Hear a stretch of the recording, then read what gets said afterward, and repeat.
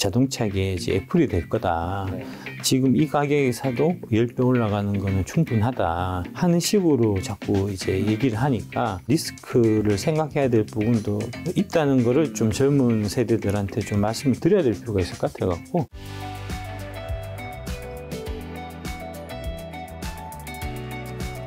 99년, 2000년 이 무렵에 이제 어, 인터넷 주식들이 되게 그 붐을 이룰 때 네. 이제 닷컴 버블 네. 있을 때 그때 이제 저 새로운 기술이나 그다음에 뭐그 다음 이제 뭐 핸디 소프트, 한글과 컴퓨터 이런 것들이 막 날아다닐 때 네.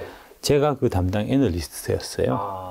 지금 어, 테슬라나 이제 최근에 뭐 엔비디아라든지 이런 이제 어, 2020년을 뜨겁게 달궜던 음. 이제 우리 뭐 우리도 이제 카카오 네이버도 마찬가지고 이제 그런 주식들이 한번 크게 올랐다가 네. 뭐 카카오만 해도 거의 한 1년에 1, 2년 해서 한 7배 정도 올랐고 테슬라가 어 그 불과 한 2, 3년 사이에 그한 40배 정도 올랐던 것 같거든요. 그러니까 이제 그렇게 올랐다가 지금 크게 좀 빠졌다가 네. 100불까지 갔다가 지금 이제 다시 좀 올라오고 있는데 어느 정도 좀 많이 단기간 회복하고 있긴 한데 그런 모습들을 보면은 옛날에 그 99년, 2000년 이때 생각이 좀 제가 좀 음. 많이 나갔고요. 그때는 어 저희 제, 제가 이제 99년에 29살이었으니까 네. 예. 지금 여러분 테슬라 투자 많이 하시는 분들 네. 이제 아마 그 나이 때하고 좀 비슷하든지 뭐그 근처가 아닐까 좀 싶고 어제 올라갔잖아요. 네. 일부 이 테슬라 좀 이제 FSD 네. 부분만 댓글을 제가 다 읽었거든요. 네, 네. 예.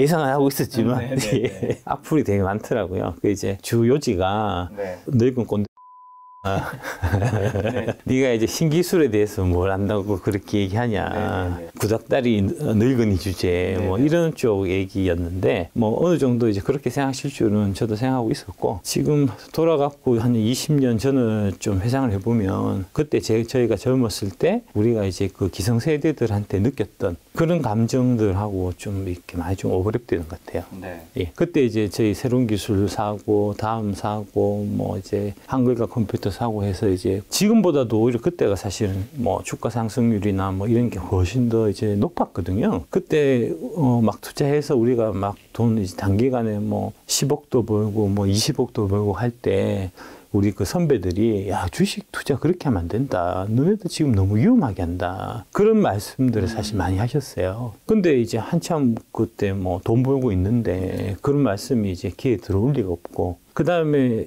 어 2000년대 들어갔고 저 새로운 기술 같은 경우가 대표적으로 이제 15만 6천 원인가까지 갔다가 그게 한 1년 지나니까 거의 5천 원인가 9천 원인가까지 떨어졌었거든요. 5천 원까지 떨어졌을 겁니다. 5천 원, 6천 원까지 떨어졌으니까 95%까지 이제 날라간 건데 물론 테슬라는 뭐 그 정도까지는 아니겠지만 이제 네. 예, 이익이 나는 회사니까 그거를 그때 선배들이 지금이라도 빨리 탈출하는 게 맞다. 꼭 그 주식을 네가 좋아한다고 하더라도 그렇게 몰빵 쳐 갖고 네 인생 전부를 거기다 걸어서는 안 된다. 리스크 관리를 해야 된다. 뭐 그런 말씀들을 하고 가실 때 그때는 저희는 너무 이제 그런 것들에 취해 있어 갖고 그런 조언들이 사실 귀에 좀 잘 안 들어왔어요. 네. 토요일 날인가 일요일 제가 이제 그 블라인드를 보다가 네. 요거를 제가 봤거든요. 네. 예. 테슬라 6천만 원 손절 여부 해 가지고 네. 이제 좀 젊으신 분인 것 같은데 직장은 이제 셀트리온이니까 좋은 직장 다니시네요. S&P 500 투자하다가 테슬라 220까지 떨어져서 욕심내다가 1억 7천 가까이 손해봤다가 최근 6천 정도 손해인데 그러니까 1억 7천을 손해봤다고 하는 걸 보시 보니까 아마 한 3억 이상 투자하신 것 같아요. 음. 그러니까 어, 젊으신 분이 이제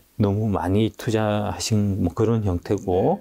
그 다음에 최근에 이제 한 180까지 올라왔었으니까 한 6천 정도 손해가 많이 좀 줄은 상태인데 6천 정도 손실 확정할까 싶네. 직장 실수령은 1년 6,500 정도여서 투자 부수입으로 생활비하고 월급 그대로 손실 메꾸면 어떨까 싶어. 1년 후퇴만 하면 되니까. 막상 8년이니까 작년 S&P 수익 봤다고 500 양도세 내야 하는데 6천 손해는 기납한 양도세 환급이 안 되어서 너무 아깝네. 그냥 테슬라 다 팔고 S&P 500 들어갈까 아니면 220까지 기다렸다가 팔까? 테슬라 망고생 넘심해서 고민이 크네 이제 이걸 제가 보고 이런 고민들을 하시는 젊은 분들이 되게 좀 많으실 것 같아 갖고 제가 뭐라도 이제 제 경험담을 좀 이제 해서 최근에 나오고 있는 그런 얘기들을 좀 이제 전달 드려야 될 필요가 있지 않겠나. 특히 테슬라 같은 종목은 이제 좀 올인한 케이스도 좀 종종 있더라고요. 예, 예. 그게 이제 우리 좀 기성세대들, 기존 이제 한국의 증권사들 그다음에 이제 그 모 대형 프로 같은 이제 그런 쪽에서 좀 책임이 있는 것 같아요. 예. 너무 이제 장밋빛 환상을 심어줘 갖고 사실은 보면 분산 투자가 사실 주식 투자의 기본이거든요. 리스크 관리가 기본이고. 근데 저도 어, 젊었을 때는 그랬지만 이게 젊었을 때일수록 빨리 부자 되고 싶어요. 예, 조급한 마음이 드니까. 이분 같은 경우도 아마 20년, 21년에 장 좋을 때는 수익이 꽤 나셨을 테고 처음에는 좀 이제 분산 투자해갖고 여러 종목을 사실은 좀 갖고 있다가 그 중에 뭐 다섯 개 종목 중에 하나가 테슬라였다고 하면 그러면은 나머지 뭐 애플이라든지 이런 걸로 해서 이제 한두 배 수익이 나더라도 테슬라에 내가 몰빵을 했었으면은 지금 인생이 바뀌었을 텐데 좀 그런 생각을 당연히 하게 됐고 그런 상황에서 지금 그 모 대형 프로 같은 데서 테슬라의 앞날에 대해서 너무 장밋빛으로 일색으로 이제 얘기를 하니까 이게 전기 자동차의 이제 뭐 탑 플레이어인 거는 당연하고 그다음에 FSD를 통해서 또 무한한 수익이 생기고 나중에는 이제 자동차계의 이제 애플이 될 거다. 지금 이 가격에 사도 10배 올라가는 거는 충분하다. 하는 식으로 자꾸 이제 얘기를 하니까 그래서 조금 더 빨리 부자가 되고 싶은 마음에 이런 형태의 이제 좀 특히 테슬라에 이제 몰빵한 그런 사례들이 좀 많이 있는 것 같고요. 그래서 뭐 더더욱 그런 상황이니까 좀 이제 경계해야 될 부분, 주의해야 될 부분에 대한 이제 그런 어, 정보라든지 얘기들을 이제 그 대형 프로라든지 그 다음에 증권사에서 당연히 얘기가 돼야 함에도 불구하고 지금 어, 여전히 그 찬양 일색, 장밋빛 미래 이런 것만 테슬라 관련해서 이제 계속 얘기가 나오고 있는 상태여 갖고 그 반대되는 시각에서 보면은 이런 측면도 있다. 이렇게 좀 경계해야 될 부분, 리스크를 생각해야 될 부분도 있다는 거를 좀 젊은 세대들한테 좀 말씀을 드려야 될 필요가 있을 것 같아갖고, 제가 이제 그 일요일 날 밤늦게, 밤늦게 아니고 저녁 때, 다시 예, 긴급하게. 추가로 좀 촬영하자고 예, 말씀해 예, 주셔서 예, 제가 예. 두 가지만 그럼 여쭤보고 예, 오늘 이야기 좀 들어가 보면 예. 그러면 이제 이사님께서 테슬라라는 회사 뭐 차에 대해서 예. 좋게 보는 그리고 긍정적으로 이거는 것들은 정말 인정한다. 예. 라는 것도 있을 거잖아요. 그렇죠. 그런 건 예. 어떤 거가 있을까요? 그래도. 예, 예. 전기차 어, 혁명의 시대를 연 거는 어, 테슬라의 그 일론 머스크 공이 상당히 크죠. 이 자동차는 기본적으로 이제 대량 생산 체제가 돼야지 그래야지 이제 원가가 절감이 되고 그렇죠. 이제 되거든요. 근데 초창기에 전기차 저거 팔고 할 때는 당연히 이제 어, 수요나 이런 측면에서 안정적이지 않기 때문에 어, 만 대, 이만 대, 오만 대, 십만 대까지 팔 동안에 계속해서 적자를 볼 수밖에 없거든요. 네. 보통 이제 자동차 회사들 얘기는 이제 어, 일단 10만 대는 기본 넘어야 되고 네. 30만 대 정도는 규모가 돼야 그때부터 이제 BEP가 넘어간다는 거거든요. 근데 이제 전기차 시대를 여는 과정에서 어, 당장은 팔면 팔수록 손해인데 그 손해를 감수하면서 30만 대까지 끌고 가는 거는 이제 까딱 잘못하다가 그 30만 대 되기 전에 회사가 무너질 이제 가능성이 있는 거고 실제로 테슬라가 그렇게 해서 많이 좀 무너질 뻔 했던 거죠. 근데 이제 그런 위기들을 이제 그 일론 머스크가 그 일벌레거든요. 한 주에 뭐 100시간씩 일한다는 분이니까 진짜 그 공장에서 야전 침대 갖다 놓고 죽기 살기로 해가지고 어 30만 대 전기차 생산 체제를 만들어서 전기차로 이익이 난다는 거를 이제 드디어 보여줬고 그렇게 되니까 이제 뭐 GM이라든지 포드라든지 현대차라든지 이런 그 전통 자동차 회사들이 전기차로 넘어가지 않을 수 없게끔 하는 네.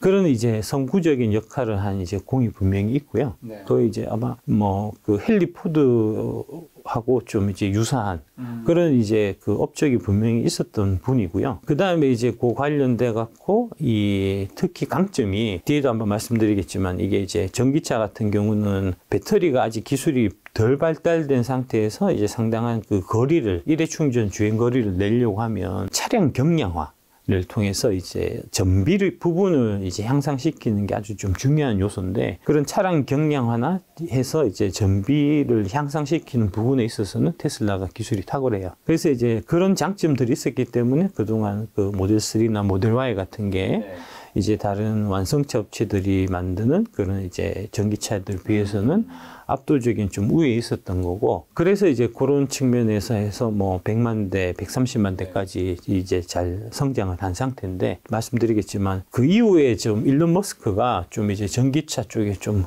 흥미를 좀 잃은 것 같기도 하고요. 좀 에너지가 좀 분산되는 이제 네. 좀 그런 일이 있는 것 같아갖고 그거는 뭐 차차 좀 말씀드리도록 하겠습니다. 네. 예, 예. 그리고 한 가지만 더 확인하면 예, 예. 그 며칠 전에 이제 올라간 영상에 어쨌든 예. 테슬라라는 어쨌든 주식이 워낙 팬분도 많고 예, 예. 우리 한국에서도 많은 분들이 가지신 분들이 많다 보니까 저야 당연히 이제 채널 운영자로서 테슬라를 좋게 보는 분도 출연을 하고 안 좋게 보는 분도 출연하고 이제 투자의 판단은 이제 또 개인의 몫이니까 저는 양쪽의 정보를 같이 제공할 의무가 있다고 생각하는데 예, 예. 어떻게 보면 이사님 어쨌든 그 영상을 그렇게 테슬라 안 좋게 얘기하면 예, 예. 안 좋은 댓글이 달리잖아요. 예. 그 그걸 보면 사람이 기분 좋을 수는 없을 수 있잖아요, 아, 예, 예, 당연히. 예, 예. 근데 그럼에도 불구하고 또 테슬라에 대해서 이렇게 한 번 더 촬영을 하면서 좀더 진짜 내가 자세한 이야기를 하고 싶다 음, 예, 예. 하시는 그렇게 해서 사실 이사님이 제가 봤을 때 뭐 실리적으로 득이 될 만한 게 없는 것 같은데 굳이 그렇게까지 하기 하시는 기성 기성 세대 의무라고 생각합니다. 음, 예, 옛날에 이제 아까 말씀드렸듯이 닷컴 버블을 네네. 이제 겪었던 그 이제 제일 좀 핵심부에서 이제 네. 겪었던 이제 경험자로서 그 경험을 이제 그 젊은 세대들한테 어 얘기를 해주는 게 네. 제가 이제 좀뭐 여의도 밥을 저도 한 30년 먹었으니까 그런 책무라고 의무라고 생각하고요. 요 영상이 좀 판단하시는데 좀 이제 도움이 되셨으면 이제 뭐 그런 생각입니다. 알겠습니다. 그럼 본격적으로 시작하도록 하겠습니다. 자 어떤 이야기? 예, 오늘 말씀드리려고 하는 거는 이제 헨리 포드와 GM, 일론 머스크와 GM 이제의 평행 이론에 대해 갖고 좀 설명을 드리겠습니다. 요거는 사실은 이제 요 그 칼럼이 미국 그 이제 저널리스트가 썼던 칼럼이에요. 요런 내용으로 이제 오늘 제가 말씀드리는 거는 그 이제 저널리스트가 썼던 칼럼을 이제 기초를 해서 디테일한 내용들을 좀 이제 살을 붙여 갖고 여러분들이 좀 이해하실 수 있게끔 네.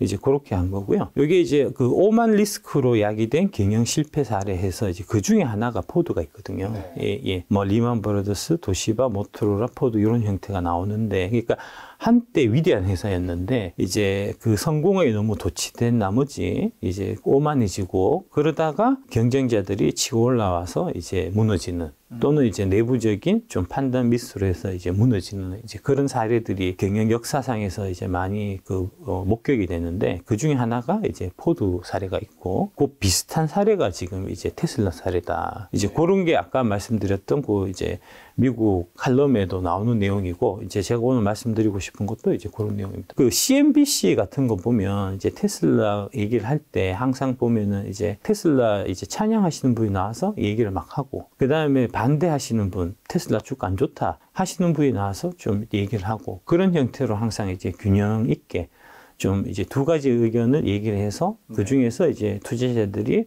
어, 취사 선택할 수 있게끔 하는데 사실은 지금 이제 뭐 아까 말씀드린 그 대형 채널도 마찬가지고 이제 한국의 증권사들도 다 마찬가지고 그다음에 유튜브계에서도 이제 테슬라에 대해 갖고 안 좋게 보는 그런 의견들이 이제 그런 영상들이 사실 거의 없잖아요. 기껏 얘기해봐 이제 악플이나 받으니까. 근데 그렇게 가서는 안 될 것 같고 누군가는 이제 좀 이제 반대되는 의견도 얘기해서 그래서 이제 투자하시는 분들이 어 양쪽을 보고 좀 이제 균형적으로 판단할 수 있게끔 좀 이제 네. 그런 차원으로 좀 요거를 계획했다라고 보시면 될 것 같고요. 요게 이제 그 왼쪽이 일론 머스크고 오른쪽이 이제 헨리 포드입니다. 포드를 창업한 네. 예, 좀 닮으셨죠 얼굴이 예, 좀 느낌이 있으실 겁니다. 네. 예, 그 모던 타임즈 그러니까 현대를 연 사람이 바로 이제 이 헨리 포드고요. 현대를 연 혁신 그게 이제 포드가 만든 모델 T입니다. 이 이제 오른쪽에 서 있는 분이 헨리 포드고 왼쪽에 있는 이 차가 바로 모델 T입니다. 이게 이제 어, 2013년에 도축장에 컨베이어 벨트를 도입을 했어요. 자동차 생산 과정에. 그래서 어, 2019년만 해도 대당 가격이 825달러이던 거를 25년에 260달러로 이제 급격하게 떨어뜨립니다. 그러면서 자동차가 이제 대중화되기 시작한 거고, 요거는 이제 일론 머스크가 한 역할과 좀 유사한 면이 있어요. 일론 머스크 이전에 전기차 가격은 너무 비쌌고, 그 다음에 일회 충전 주행 거리도 너무 짧았는데, 모델 3나 모델 Y를 만들면서 이제 가격 자체도 많이 떨어졌고, 일회 충전 주행 거리도 좀 많이 길어져서 이제 전기차가 대중화되는 이제 그런 그 어, 역할을 한 거거든요. 왼쪽 상단에 있는 이게 이제 잘 아실 겁니다. 이 영화 모던 타임즈입니다.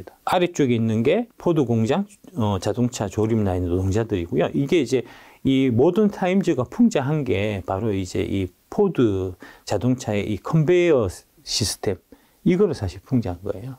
그러니까 이게 이제 컨베이어 벨트 시스템이 생산 효율을 극도로 높여갖고 뭐 뒤에 얘기 또 나오겠지만 이제 어, 노동자들이 이제 많은 월급을 받아갈 수 있게끔 한 이제 그런 좀 장점이 있었던 반면에 노동 소외 현상을 또 불러일으켰던 이제 좀 반대되는 이제 부분도 있었거든요. 1908년에 이제 모델 T가 처음 나왔고 이제 아까 말씀드렸던 이게 2013년에 컨베이어 벨트가 도입되면서 더 이제 한 번 더 이제 업그레이드가 되는 이제 그런 흐름으로 보시면 될 것 같은데 1908년에 모델 T 가 가져온 혁신이 이런 이제 총 네 가지로 볼 수 있습니다. 첫 번째로 이제 대중이 살 수 있는 저렴하고 튼튼한 자동차를 만들었어요. 당시에 냉장고보다 차가 더 쌌다는 겁니다. 그리고 이제 이게 저렴하고 튼튼한 자동차이기 때문에 이 생산 원가를 이제 절감하기 위해 갖고 오로지 이제 T 모델 딱 단일 모델만 생산한 거고요. 그래서 이제 2011년에 3만 대 팔던 게 2013년 대는 10만 대로 크게 늘어났고 어, 2020년대 이제 모델 T 가장 전성기 때는 전 세계 자동차 중에 모델 T가 차지하는 마켓 시어가 68% 단일 차종이 그만큼 잘 팔렸던 차입니다. 예, 그렇고 원래는 이게 자동차가 이제 1인당 연 3대를 만들었었거든요. 근데 그게 11년에 되면은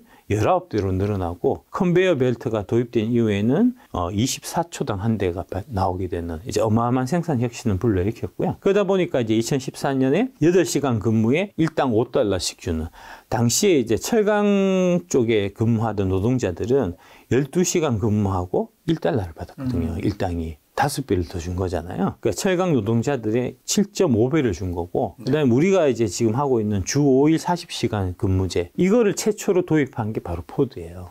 그래서 이제 요때 당시에 만평을 보면 포드 자동차 공장에 이제 근로한 노동자들이 모피를 입고 기사가 모는 차를 타고 출근하는 만평이 나올 정도로 예, 예. 이게 1 7.5배를 받는 거니까요. 이때 당시에 이제 이게 어 8시간에 일당 5달러를 준다는 이제 모집 공고를 내니까 취업하려는 노동자들이 포드 공장에 너무 많이 몰려갖고 경찰들이 이제 좀 통제하는 뭐 그런 일까지 일어났었다고 합니다. 예, 그만큼 이제 대단했던 거고요. 대단한 혁신이었고 포디즘과 이제 포드 시스템이라고 있는데 이제 포디즘은 포드가 주창한 거고 미래에 대한 공포와 과거에 대한 존경을 버려라. 경쟁을 위주로 일하지 말고 봉사가 이윤에 선행하게 하고 값싸게 제조해서 값싸게 팔 것. 이게 이제 포드가 주창한 이제 그런 거고 우리가 이제 포드 시스템이라고 이제 보통 요거 경영학 시간에 많이 배우는데 3S라고 standardization 제품 표준화, simplification 부품 단순화, specialization 작업 전문화 해서 이제 현대 그 공장에 폭넓게 적용되고 있는 이제 분업화 과정 요런 이제 그 생산 시스템을 최초로 만든 게 바로 포드예요. 다음 넘기시면 예. 그래서 이제 어 요거는 왼쪽에 있는 요책 표지는 뭐냐면은 Brave New World라고 멋진 신세계라고 올더스 헉슬리가 이제 만든 소, 낸 소설인데 이게 이제 1932년도에 나온 겁니다. 이게 이제 미래의 그 세계를 디스토피아를 이제 그리는 이제 뭐 그런 건데 이제 그 조지 오웰의 1984 같은 이제 그런 느낌의 책이에요. 근데 이 책에 보면은 어 어떻게 나오냐면은 우리가 이제 그 AD, AC 뭐 이렇게 하잖아요. AC가 After Christ에서 이제 기원전 네네네. 기원후 할 때, 네. 예, 예. 여기는 어떻게 나오냐면 AF라고 나와요. 음. After Ford. 포드가 태어난 해. 그때를 원년으로 해갖고 계산한, 이제 그 연도를 계산한. 네. 그러니까 그만큼 이때 당시에 이제 포드가 끼쳤던 영향, 헨리 포드가 끼쳤던 영향이 네. 어마무시하게 컸다는 거고요. 지금 마치 이제 일론 머스크가 시대의 총화였던 것처럼 네. 1920년대, 30년대는 이제 헨리 포드가 이제 네. 시대의 총화였다는 거고, 이게 이제 그, 요 유명한 얘기인데, 어, 헨리 포드가 이제 길을 가다가, 이제 작은 애, 그 어린애가 헨리 포드한테 한 얘기가, 할아버지 세상이 달라졌어요. 지금은 현대란 말이에요. 라고 얘기하니까, 네. 헨리 포드가 그 애한테 한 얘기가, 애야, 그 현대를 발명한 사람이 바로 나란다. 음.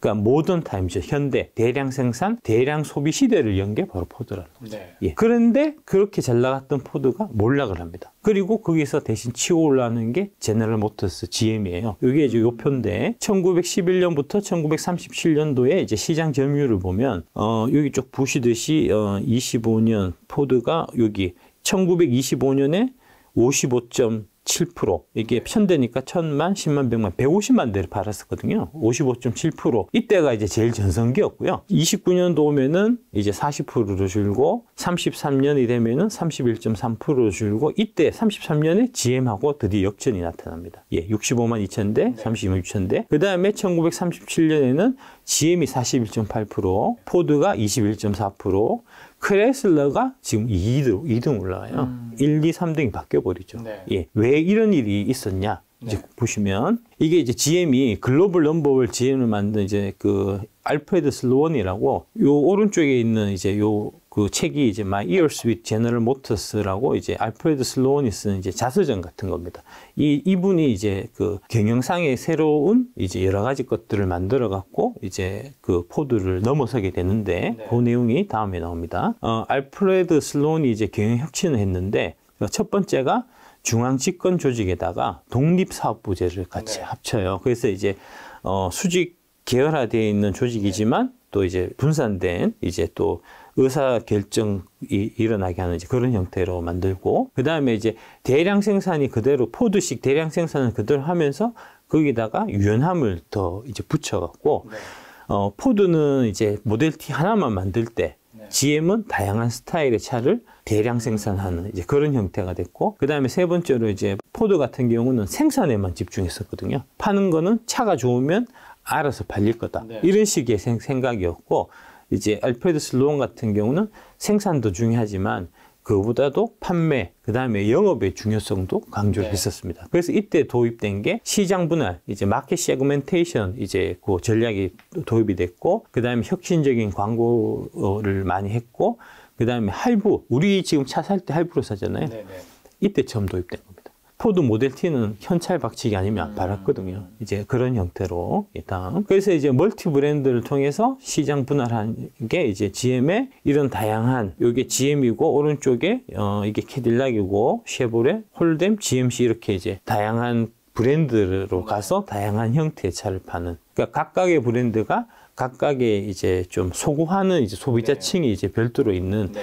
이런 형태의 조직을 GM이 최초로 만든 음. 거고요. 오펠, 복스월, 올즈모빌, 새턴, 머큐리, 폰티악, 허머 같은 이제 더 많은 사실은 네. 이 sub 브랜드가 있었어요. 근데 이제 너무 많다 보니까 서로 이제 브랜드끼리 겹치고 충돌하고 하니까 네. 지금 밑에 있던 이거는 싹 다 정리가 된 거고 지금 지금 남아 있는 건 이렇게 남아 있습니다. 음. 요게 지금 어, 폭스바겐도 마찬가지로 이런 형태로 네. 지금 이제 multi 브랜드 전략을 쓰고 있고요. 이거 이제 어 람보르기니, 포르쉐, 맨 위에 있는 게 폭스바겐이고 아우디, 뭐 시트 벤틀리, 스코다, 스카니아, 부가티, 만 같은 네. 다양한 형태의 브랜드를 이제 폭스바겐도 갖고 있고요. 다음 한번 넘기시면 이런 형태로 이제 다양하게 각 자동차 회사들마다 다양한 멀티 브랜드 전략을 이제 다임러나 토요타나 르노-닛산이나 BMW 이렇게 갖고 가는 게 네. 이게 결국은 차량은 재력과 개성의 표현이기 때문에 음. 다양하게 만들 수밖에 없는 예. 네. 사치제이면서 또 이제 필수제적인 성격을 동시에 갖고 네. 있는 게 이제 자동차다. 네. 이제 그렇게 된 거죠. 근데 그 반에서 이제 결국 헨리 포드가 이런 실패한 이유가 네. 첫 번째가 이제 기존의 그 성공 방식에 되게 집착했었고요. 네. 모델 T만 만드는. 이때 당시에 이제 그 GM이 치고 올라올 때 참모들이 이거 모델 다양해야 된다. GM이 저렇게 다양하게 모델 만들어 갖고 지금 이제 소비자들의 반응을 이끌어내고 있는데 우리도 이제 저런 트렌드에 좀 부합해야 된다라고 얘기를 했는데 그런 참모들의 모델 다양화 제안을 이제 헨리 포드는 계속 묵살했고요. 그러면서 이때 당시에 이제 그 광고가 포드 광고가 검은색이기만 하면 무슨 색이든 선택할 수 있습니다. 그러니까 색 자체도 까만색만 만들었다는 거죠. 이제 그렇고 그 다음에 이 포드가 헨리 포드가 이제 포드 자동차 외에 다른 분야에 관심을 많이 썼었어요. 이게 이제 대표적으로 디어본 인디펜던트 신문이라는 네. 이제 신문, 그 다음에 이제 수력 발전소 같은 네. 거, 예 그런 쪽에 많이 관심을 분산했었고요. 그 다음에 정치색을 많이 드러냈어요. 특히 이제 극심한 유대인 그 혐오 이런 것들을 많이 갖고 있었던 게 헨리 포드입니다. 네. 그래서 국제 유대인이라는 이제 책 저서도 자기가 있었었고 America First Committee라고 이, 이거는 뭐냐면은 이제 2차 세계 대전 일어났을 때 네. 그때 이제 미국이 참전하냐 마냐 이거 가지고 되게 이제 미국 내에서 다툼이 많이 있었거든요. 그때 이제 이게 미국이 그 2차 세계대전에 참전하려고 하는 거는 영국과 유대인들이 이게 뒤에서 조정을 해갖고 그렇게 이제 끌고 가는 거다라는 주장을 했던 단체가 이제 이 America First Committee예요. 지금 뭐 America First 하니까 그거 생각나시죠? 트럼프가 America First 했었잖아요. 그러니까 좀 그런 느낌의 이제 좀 극우 단체 같은 좀 그런 역할을 많이 했었고요. 이때 당시에 최고 부자였고 당연히 네. 노동조합을 극혐했고 그 다음에 이제 여성 편력이 되게 문란했다는 이제 그런 좀 공통점이 또 있습니다. 이게 이제 뭐냐면은 왼쪽에 요 책이 헨리 포드가 쓴 국제 유대인 세계에서 가장 심각한 문제. 일단 이제 그 서적 유태인을 말살해야 된다는 내용의 책이고요. 그래서 이 책 때문에 나치한테 이렇게 오- 오른쪽에 훈장을 받아요.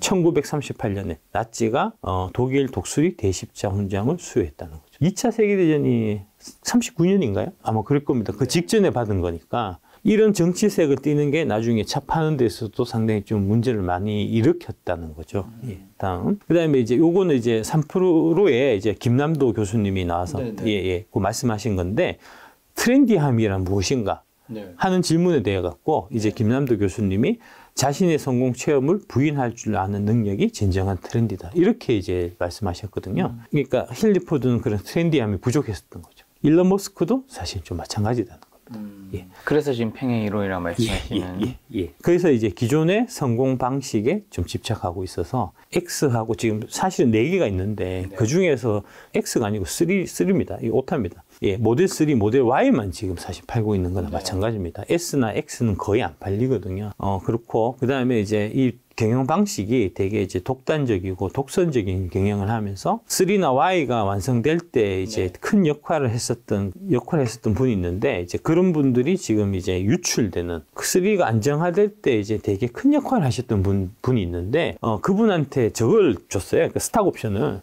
스탁 옵션을 줘갖고 이제 있었는데 막 칭찬하면서 근데 이제 그분이 머스크와 같이 하다 자꾸 부딪히니까 네네. 그분이 이제 아 같이 뭐일 못하겠다 하고 이제 나왔거든 요. 사표를 냈는데 사표 낼 때는 이 스탁 옵션 주고 나가라 그래갖고 그걸로 법정 소송도 막 하고 그랬었거든요. 네. 그러니까 그런 거를 보면 이제 이 진짜 그 우수 인력들이 진짜 우수한 인력들이 어떤 생각을 하겠습니까? 저 사람하고는 계속 좀 일하기 좀 음. 어렵겠다. 네. 이제 실제로 그래서 좀 우수 인력들이 좀 유출되는 이제 그런 네. 일이 있고요. 어, 기본적으로 이제 일론 머스크가 어, 생각하는 그런 좀 이제 마인드가 내가 왕이고 니들은 등신이야. 음. 좀 그런 형태의 마인드여 갖고 말 안 들으면 좀 이제 무자비하거든요. 네네. 그 대표적으로 그런 게 이제 많이 나타났었던 게 그 트위트 인수 과정에서 이제 어마무시하게 좀 이제 잔혹하게 사람들을 많이 잘랐잖아요. 자를 수는 있는데 네. 이제 그 구조조정하고 하면은 뭐 어, 인력을 줄여서 회사 살려야 되니까. 근데 이제 터치하는 것도 사실 중요하거든요. 자를 때 자르더라도 좀 좋게 좋게 얘기해서 네. 좀 회사의 원한을 안 갖게 하고 나가는 게 사실 좋은 거잖아요. 근데 이제 어느 날 출근해 보니까 이메일에 접속이 안 되고 네네. 그러면서 이제 문자 하나 딱 나와가 들어와서 너는 오늘부터 해고야 뭐 이런 식으로 네. 사람을 잘라버리니까 이제 그런 부분들이 좀 계속 좀 문제를 많이 일으키고 있는 좀 그런 상황이고요. 그 다음에 이제 아까 헨리 포드가 이제 디어본 그 인디펜던트라고 이제 언론에 되게 관심이 많았던 것처럼 어 저기 일론 머스크도 테슬라 외에 특히 트위터에 되게 좀 예, 이 부분이 상당히 좀 문제고 그 다음에 스페이스 X라든지 네. 뉴럴링크라든지 이제 보링 컴퍼니라든지 이런 형태로 다양한 개인 사업들을 쭉 같이 병행해서 하다 보니까 네. 이게 이제 관심이 분산되는 이제 그런 일이 있고 그 다음에 정치색. 아까 이제 그 헨리 포드 같은 경우에 나치에 좀 이렇게 좀 동조하는 이제 유대인을 말살해야 된다는 식의 이제 그런 것들이 나중에 많이 문제를 일으켰었는데 지금 일론 머스크 같은 경우는 중국에 되게 경도돼 있고 그에 비해서 좀 미국하고는 특히 이제 민주당 정부하고는 그냥 좀 이제 안 좋아할 수는 있는데 너무 심하게 아예 까버리는 형태가 되니까 이게 바이든 is a damn sacks of 뭐 퍼핏인가 해서 이제 거의 막말이거든요. 막말이거든요. 이거는 이제 뭐 저 한국 우리말로 하면은 뭐 시, 뭐, 어, 뭐, 이런, 이런 느낌이에요. 네. 그런 거를 이제 트위터에 막 해갖고 이제 하니까. 그 반면에, 어, 중국 시진핑에 대해서는 이제 되게 좀 극도로 아첨하는 음.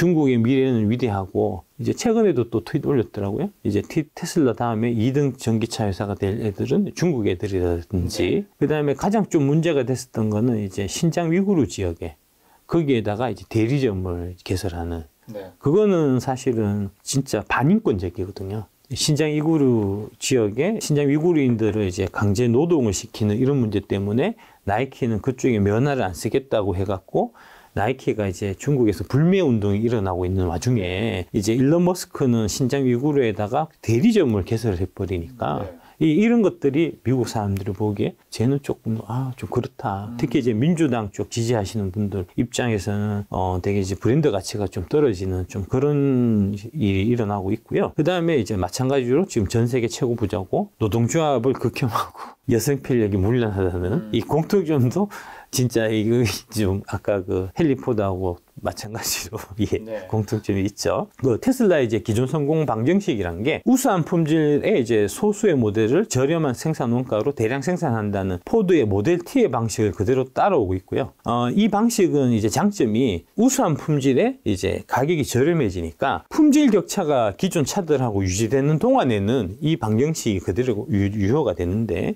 품질 격차가 유지되지 않고 그러니까 좀 격차가 좁혀지고 그 다음에 소비자가 이 단일 모델에 대해서 소수의 모델에 대해서 싫증을 내버리면 네. 그러면은 이 성공 방정식은 좀 깨지는 이제 그런 일이 있고요.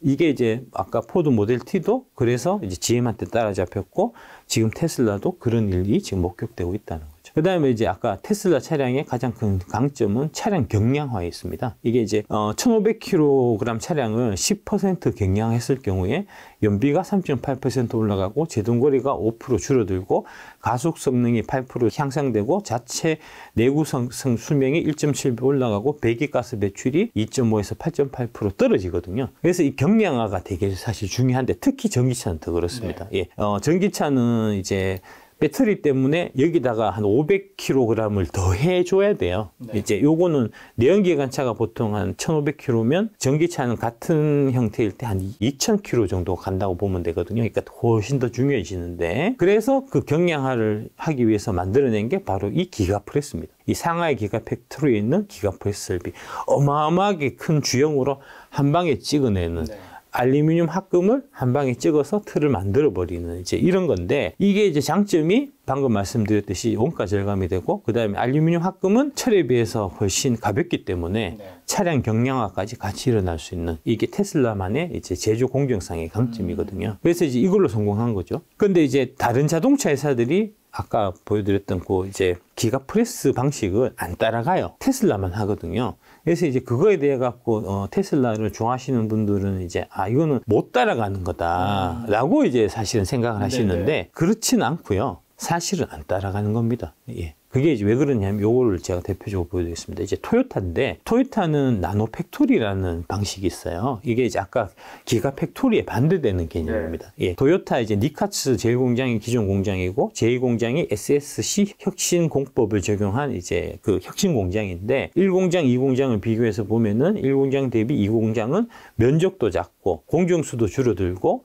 초기 투자비도 적어지고 그러면서 같은 생산량을 만들고 그래서 그 부족한 부분은 로봇을 많이 설치해서 이제 메꾸고 그러면서 종업원 수를 확 줄이는 이제 그런 거거든요. 이렇게 하면 요거 SSC가 이제 Simple and Slim and Compact라는 뜻인데 이렇게 하면 어떤 장점이 있냐면은 원가가 절감되면서 유연화가 가능해져서 다양한 차종을 만들 수 있는 그런 장점이 있어요. 그래서 이제 아까 어, 기가 프레스 같은 경우는 이 장점이 그 이렇게 이제 차량 경량화하면서 원가 절감을 하지만 만들 수 있는 모델이 아주 제한적이라는 이제 결정적인 단점이 있는 거고요. 나노 팩토리의 경우에는 원가 절감도 되고 그러면서 다양한 차종을 만들 수 있다는 그런 장점이 있거든요. 그래서 선택할 수 있는 거예요. 네. 그래서 이제 기가 프레스는 못하는 것이 아니고 안 하는 거다는 게 이제 바로 이런 얘기입니다. 이제 보통은 이제 이 금속 코일을 프레스 성형해서 성형 부품 형태로 이게 기존 생산 방식이거든요. 이렇게 하면은 당연히 이제 부품 수가 늘어나기 때문에 생산 원가도 올라가고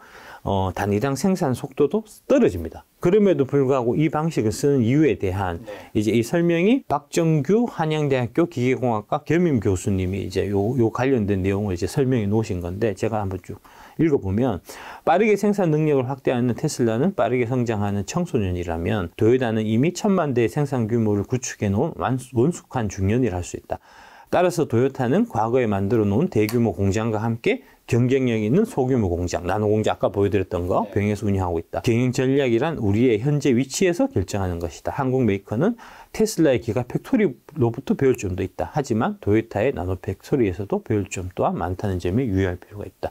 그래서 이 두 가지는 서로 이제 장단점이 엄연하게 존재하고 그래서 그 둘 중에 하나를 선택하는 거지 반드시 기가 팩토리는 우월하고 네. 나머지 전통적인 생산 방식은 열등하다. 이거는 그건 아니다. 아니다는 거죠. 예, 예. 그래서 이제 기가 팩토리는 결국은 모델 T의 방식이라고 볼 수 있는데 그래서 소품종 대량 생산하는 모델 S가 2012년에 나왔고요. 모델 3가 2016년, 모델 X가 2017년, 모델 Y가 2020년에 나왔거든요. 어, 나노 팩토리는 이제 GM 슬론의 다품종 소량 생산 방식이라고 보일 수가 있습니다. 그래서 이제 이런 형태로 해서 GM은 25년까지 전기차 30종을 지금 출시할 계획이거든요.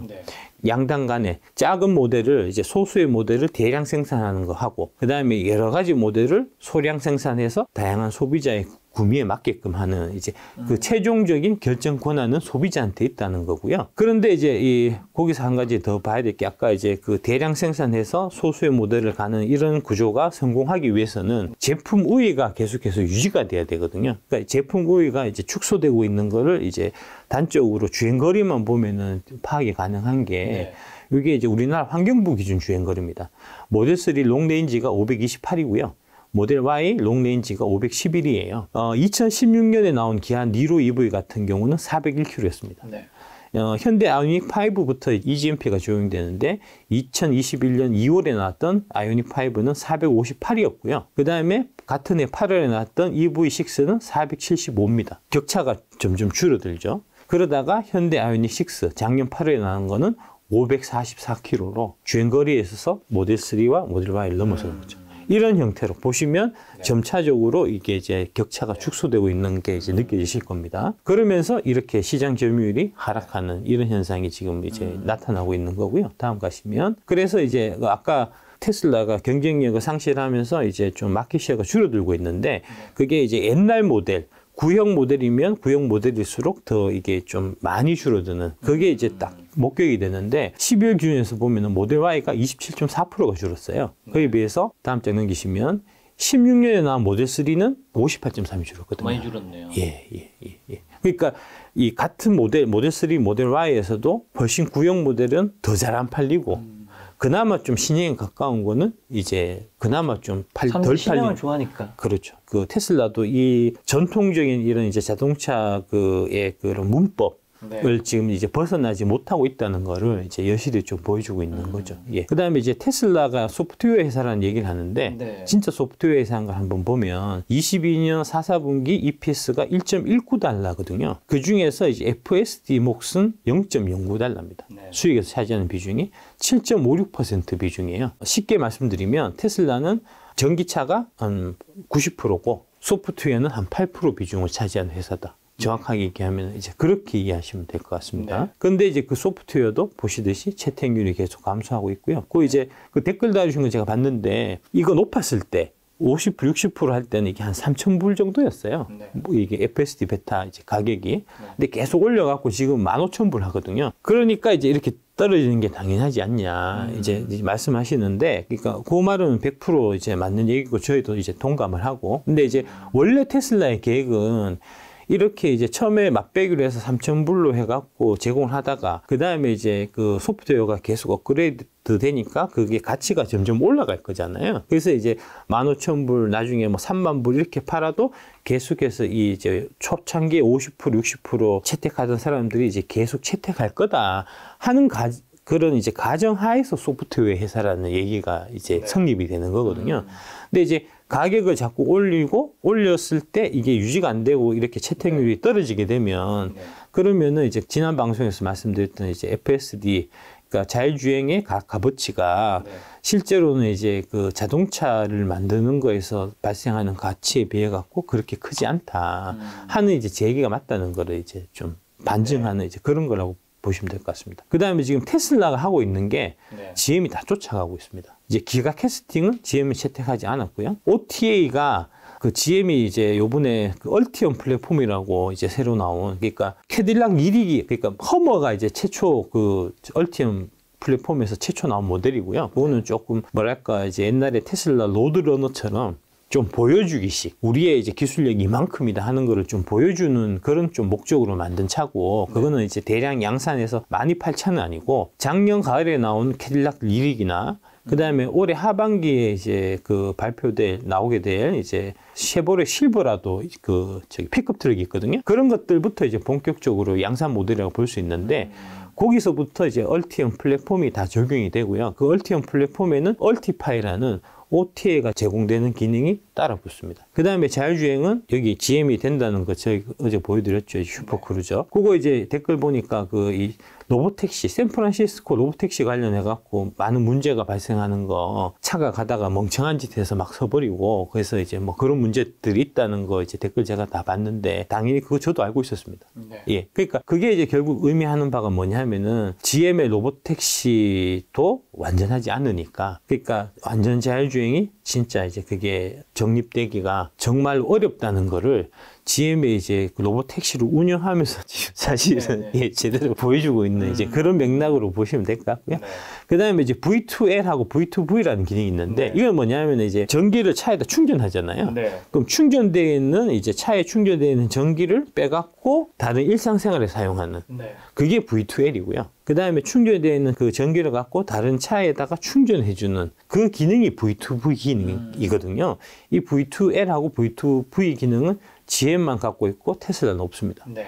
현대차는 있고 테슬라는 없습니다. 이제 이게 되게 장점이고 그 다음에 충전 속도도 급속 충전 기준에서 이제 테슬라가 15분에 257km인데 GM은 10분에 290km니까 이것도 지금 이제 GM 앞서고 있고 그 다음에 결정적으로 미국 사람들은 지난 40년 동안 그 베스트셀링 1, 2, 3등이 픽업 트럭이었는데 그 픽업 트럭을 지금 GM은 만들고 있는 반면에 테슬라는 못 만들고 있다. 사이버 트럭이 출시가 계속 연기되면서 이 못 만들고 있다는 게 사실 좀 가장 중요한 포인트라고 사실 할 수 있습니다. 그래서 이제 어, 머스크는 지금 어, 잠자는 토끼라고 보여요. GM은 꾸준한 거북이 같습니다. 이제 토끼와 거북이 그이 경주 그거 있잖아요. 이제 그거 생각하시면 될 것 같고 어, 머스크가 한 눈을 파는 사이에 지금 GM은 계속해서 이제 신차 모델들을 개발해 갖고 22년에 GMC 허머, 캐딜락 리릭, 23년에 이렇게 허머, 실버라도 블레이저, 이쿼녹스, 셀레스틱, 시에라, 크로스오버, 크루즈 오리진, 뭐 브라이트 드롭, 24년에 캐딜락 full-size 뭐 이런 형태로 해서 계속해서 신차를 내놓고 있고 이게 25년까지 30종을 만들겠다는 거거든요.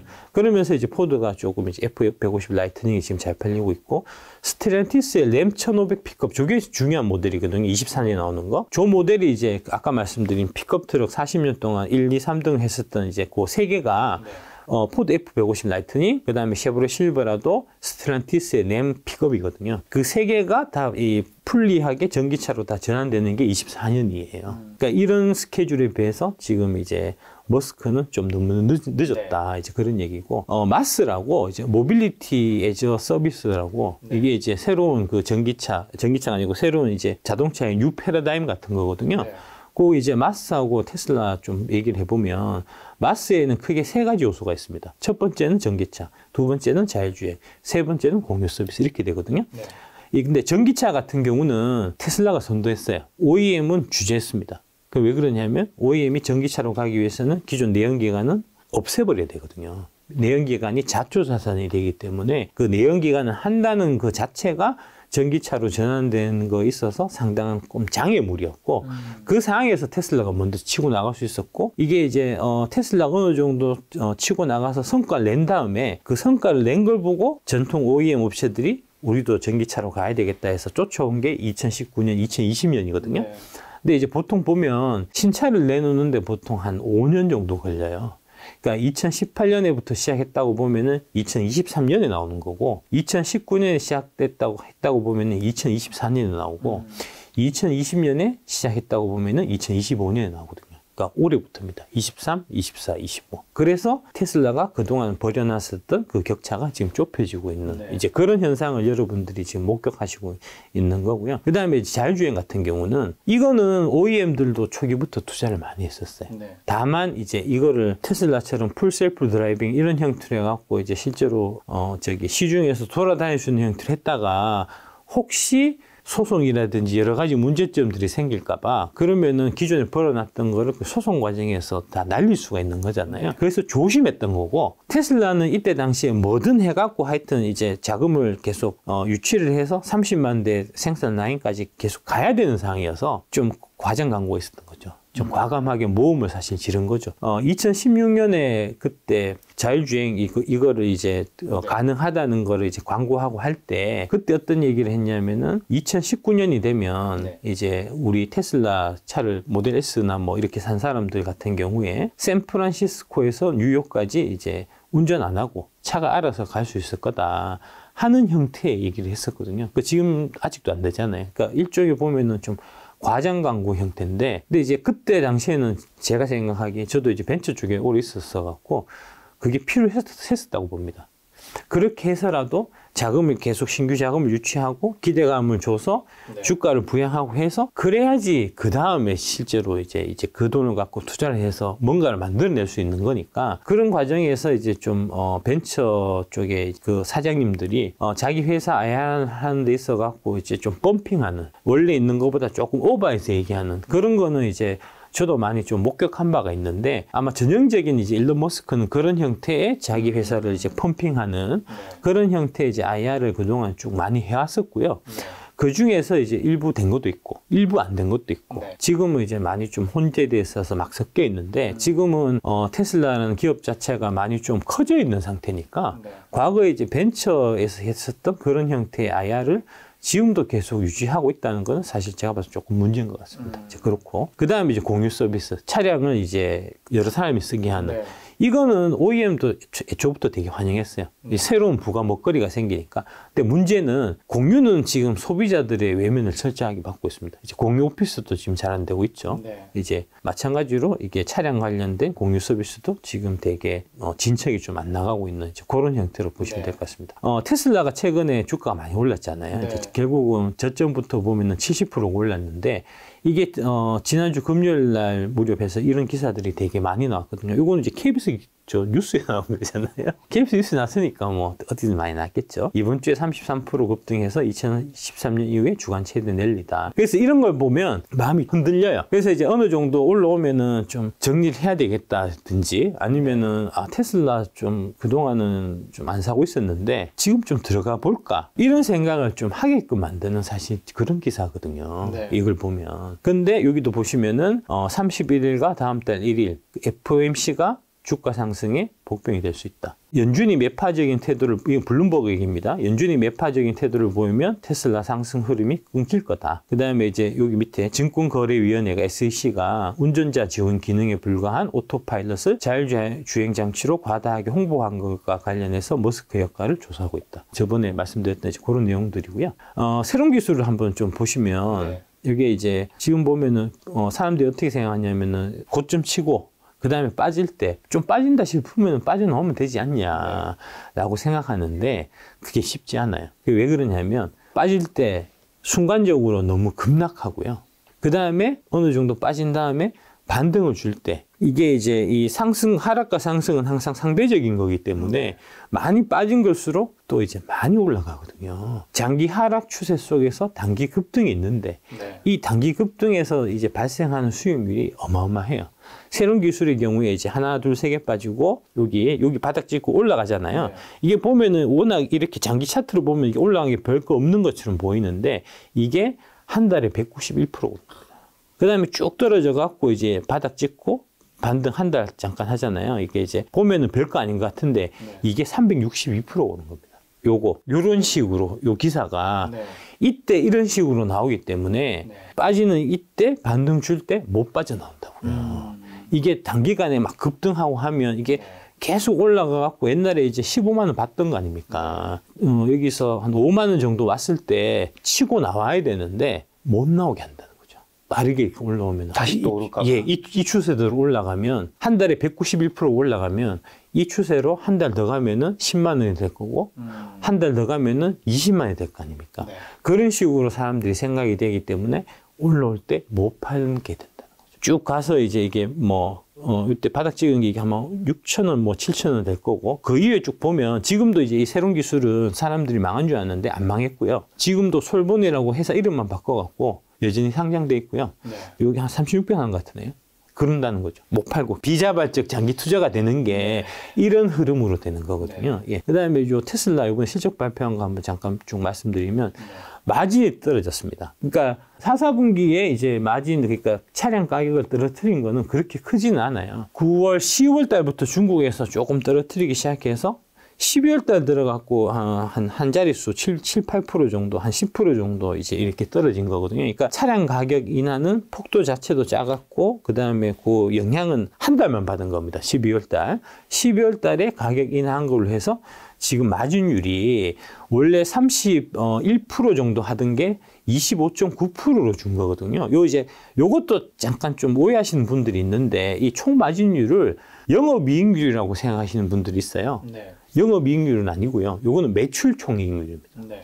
그러니까 영업이익률로 기준해서 보면은 아마 16%, 17% 정도 됩니다. 그러니까 영업이익률 16%, 17% 높긴 하지만 이게 이거 비교할 때 아 테슬라는 어, 영업이익률이 26%고 전통 이제 자동차 회사들은 뭐 7, 8%밖에 안 되지 많이 나와봐야 그러니까 이게 압도적이다라고 얘기하는데 영업이익률 기준으로 해서 보면은 이제 테슬라가 뭐 지금 현재 한 뭐 16% 정도니까 16%고 8%니까 뭐 그것도 차이는 많이 나는 거긴 한데 26대 6으로 뭐 8을 이렇게 얘기하면 사실은 잘못된 얘기죠. 그거는 비교 이제 저게 틀린 거니까 일단 뭐 그렇고 그다음에 운영 비용이 많이 올라가고 있고 잉여 현금 흐름이 50% 정도 감소되고 있다. 그러니까 완전히 좋은 사실 실적 발표는 아니었었습니다. 예, 보시면 되고. 그래서 결론적으로 이제 지금 테슬라가 싼가 비싼가를 한번 좀 판단해 보실 필요가 있는데 일단 1월 달에 가격을 20%를 인하를 했어요. 어, EPS가 22년 4, 4, 4분기에 1.19를 기록했고요. 그러면은 이제 1월 달에 가격 20% 인하한 거를 감안해서 보면 올해의 EPS는 아마 3 내지 5달러 정도가 되지 않겠나. 그러니까 이제 1.2를 기준으로 해서 이제 단순하게 곱하기 4를 하면은 4.8이 되잖아요. 그러니까 이제 그렇게 해서 보면 5달러 정도로 볼 수 있는데 어, 수량은 좀 늘어날 테니까. 네. 근데 이제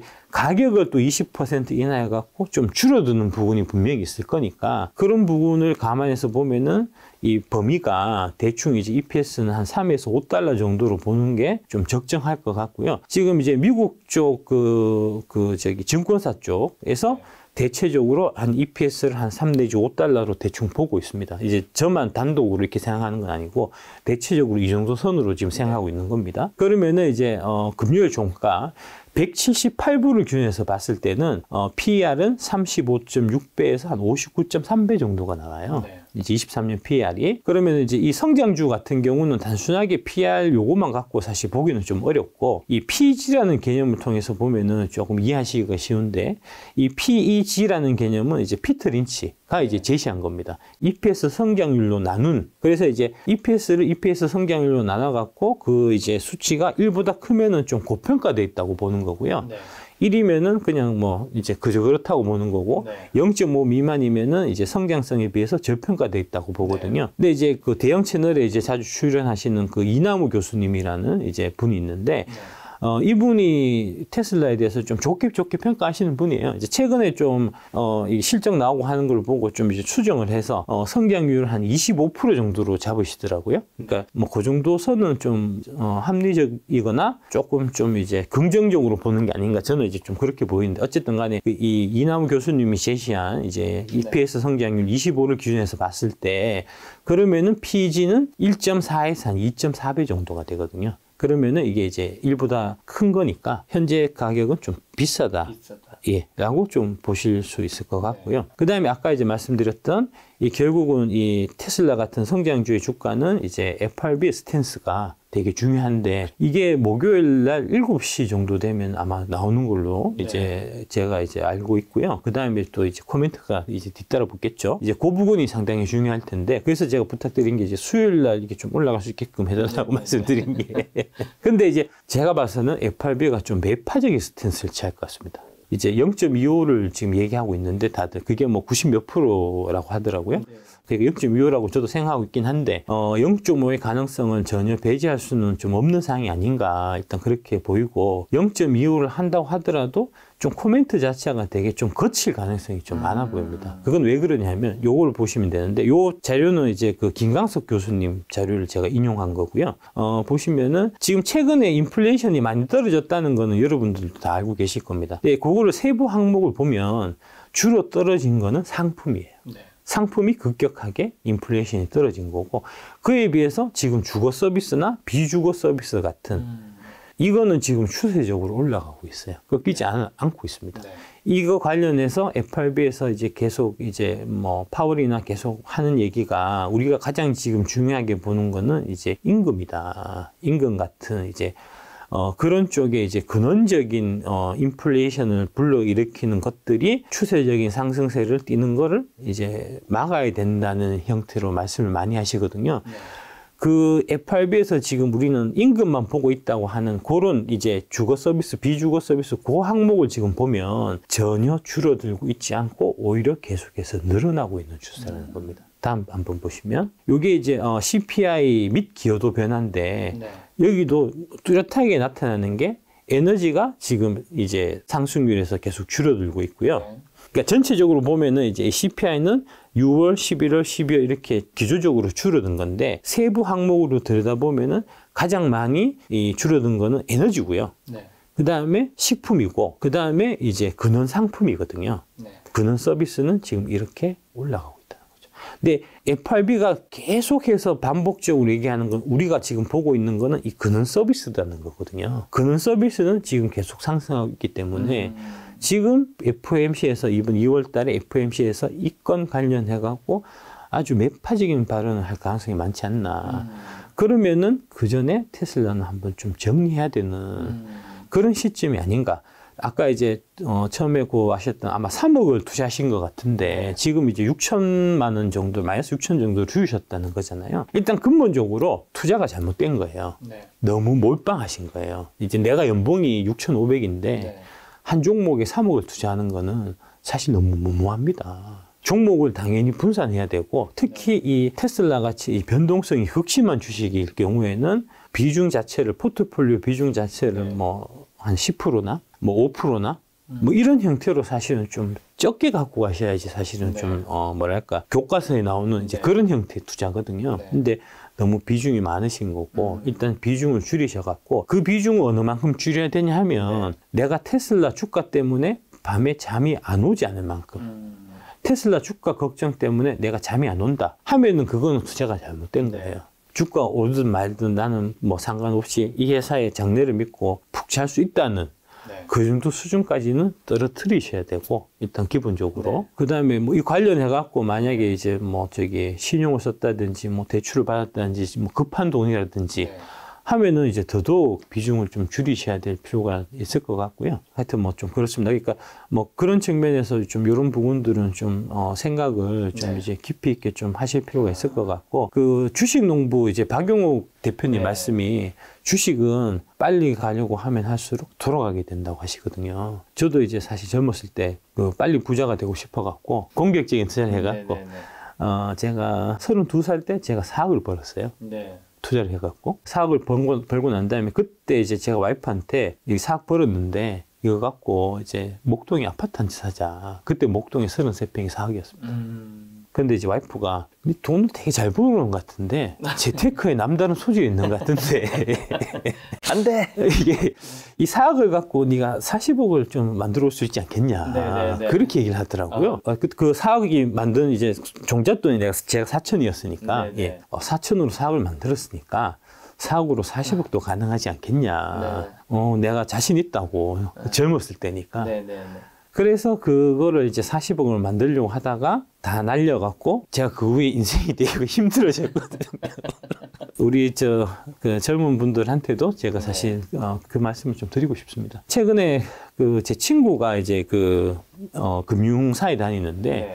그 친구 젊은 직원이 네. 테슬라하고 네. 그 다음에 이제 코인하고 네. 그런 거에서 이제 어, 장 한창 좋을 때요. 20년 네. 이때 한 30억을 벌어갖고 이제 회사에 사표를 내고 나와서 이제 유튜브를 한다고 아. 하더라고요. 네. 그 이제 그런 분이 한 명 있으면 회사가 되게 이제 그쪽으로 쏠리죠 관심이. 막 마음이 막 네, 네, 입술리고 하거든요. 옛날에 제가 그랬어요. 예, 그때 새로운 기술을 막 날라다니고 할 때제 네. 나이 또래 중에서 이제 좀 공격적으로 투자를 했던 친구들이 이제 10억, 20억씩 벌어갖고 네. 어, 나 전업 투자자 해야 되겠다 음. 해서 이제 그만둔 친구들이 많이 있어요. 그 친구들이 다 지금 연락이 안 됩니다. 그 중에 아주 드문 확률로 연락되는 친구가 있는데 그 친구들은 그 이제 20억 번 거 있잖아요. 네. 그걸로 이제 아파트 사는 애들이에요. 걔들은 연락이 되고. 최근에 이제 주식을 하셨던 이제 젊은 분들 같은 경우에 2020년, 2021년에 이제 크게 성공한 그런 이제 경험이 있을 겁니다. 네. 그러니까 이제 그런 경험이 이게 이제 사실 까딱 잘못해서 이제 오만 리스크로 연결될 수 있거든요. 네. 제가 옛날에 젊었을 때 그런 이제 오만 리스크 때문에 네. 벌어놓던 거를 이제 못 지키고 네. 그동안 인생이 많이 고달퍼져 갖고 이제 돌아서 돌아가고 음. 지금 금리 아야를 좀 맞게 된 거고 그 여러분도 사실은 좀 이제 그런 어, 상황에 좀 처했을 수 있어요.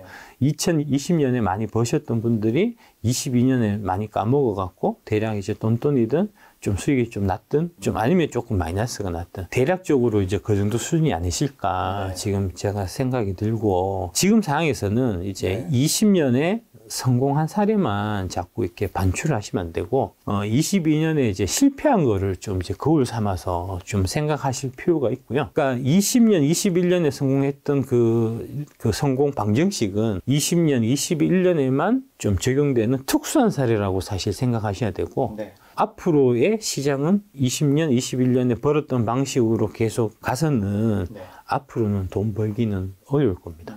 음. 이거는 이제 어 시장 상황 자체가 아예 이제 완전히 바뀐 상황이니까요. 이제 그런 부분 관련해서 뭐 이제 좀 유튜브나 뭐 김작가 TV도 그렇고 네. 이제 최근에 뭐 서재영 대표님이나 그다음에 이제 이종호 센터장님 같은 네.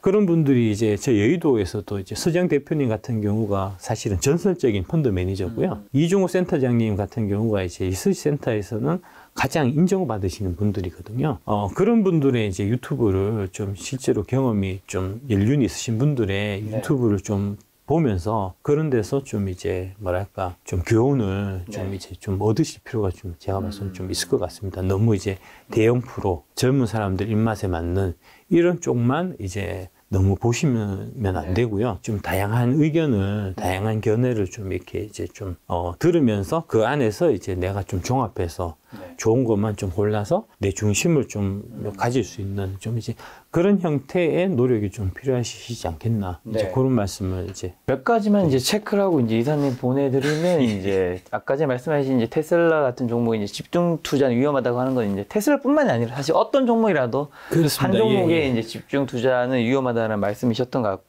테슬라 이제 소프트웨어 회사로 이제 많은 분들이 이제 갈 수 있다고 이제 생각을 하신 분들이 많은데 예. 이제 이사님이 요게 굉장히 떨어지고 있다 FSD가 하시지만 어쨌든 여기서 매출이 어느 정도 나는 부분이 있긴 하잖아요. 그렇죠. 미래 어쨌든 이런 것들이 다시 이제 높아질 확률은 전혀 없는 건가요? 어떻게 보세요? 거의 희박하게 보입니다. 음. 예. 아까 이제 말씀드린 GM 사례도 제가 말씀드렸지만 네. GM이 로보택시를 시범 운행, 운행을 해봤는데 잘 안 되거든요. 쉽지가 않다. 쉽, 지가 않다는 게, 어, 작년 한, 어, 하반기 이후에 그게 좀 정설화되는 것 같아요. 음. 그러니까 우리가 이제, 어, 자율주행에 대해서 상당히 좀 큰 기대와 네. 희망과 꿈에 사실 부풀어 있었는데 이 문제를 자율주행이라는 문제를 해결하는 그 과제가 어, 정말 정말 어려운 과제였구나 하는 거를 이제 그 자동차 메이커들도 그렇고 지금 테슬라도 마찬가지고 테슬라가 이제 카메라 외에 그 레이더를 부가적으로 지금 그 적용하려고 하거든요. 네. 그게 이제 기존의 카메라 방식만 갖고는 어렵다는 거를 이제 일론 머스크도 인정한 예라고 보시면 될 것 같고, 어, 그러면서 결국 이제 자율주행 같은 경우는 이 규제 당국이 어떤 생각을 갖느냐, 이것도 상당히 좀 중요한데, 규제 당국의 생각도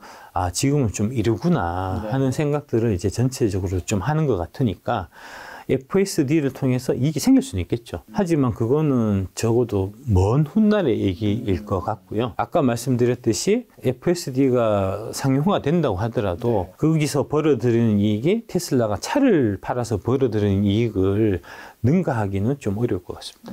오늘 이제 테슬라 주가가 이제 166달러 정도던데 예. 그러면 이제 어쨌든 이사님은 테슬라 주식을 어느 정도 이제 좀 정리할 필요가 있다라고 말씀해 주시는 건데 예. 그럼 어느 정도 가격대 이제 이게 여기서 좀 더 오를 수도 있고 좀 떨어질 수도 있고 하는데 뭐 언제든지 정리하라 이건 아니실 것 같아서요. 어, FMC 이전에 한번 좀 줄이실 필요가 있을 것 같고요. 네. FMC 자체가 뭐 제가 틀릴 수도 있는 거니까 그렇죠, 이제 지금 이제 뭐 대형 프로나 이제 증권사 나 이제 되게 낙관적인 분들이 얘기하시는 거는 이제 골디락스 장세로 이제 쭉 가서 이제 F, 어, FRB에서 아 뭐 이제 앞으로 좀그 인플레이션도 많이 잡히고 있으니까 음. 이제 인플레이션에 대해서 좀 되게 우호적으로 이제 하반기에 금리 내려줄게라는 뭐 네. 그런 형태로 되게 이제 비둘기적인 stance를 취할 확률도 네네네. 전혀 배제는 못하니까요. 그렇죠, 그렇죠. 예, 예. 그렇긴 한데 일단 제 판단은 이제 방금 말씀드렸듯이 이제 매파적 stance의 가능성이 많다고 보고 네. 그러면은 지금 이제 그 수익하고 리스크하고 이제 trade-off 관계를 봤을 때